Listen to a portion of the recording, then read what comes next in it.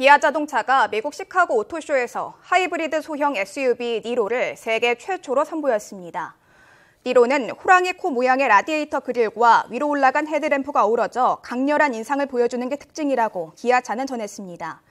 전기 모터가 장착된 니로는 최고 출력이 43.5마력이며 연비는 리터당 21.5km에 이릅니다.